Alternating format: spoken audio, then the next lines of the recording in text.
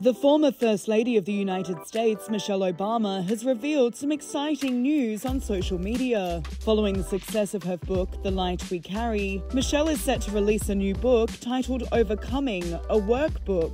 The synopsis explains, bringing former First Lady Michelle Obama's timeless advice to readers in a fresh, interactive, and instructional new format. Overcoming, a workbook presents creative activities reflecting writing prompts, habit tracking tools, and more to provide the ultimate guide to unlocking your small power, sharing your whole self, showing up in relationships, and of course, going high. According to Hello Magazine, the beautiful and interactive book will be available to purchase from December 3rd.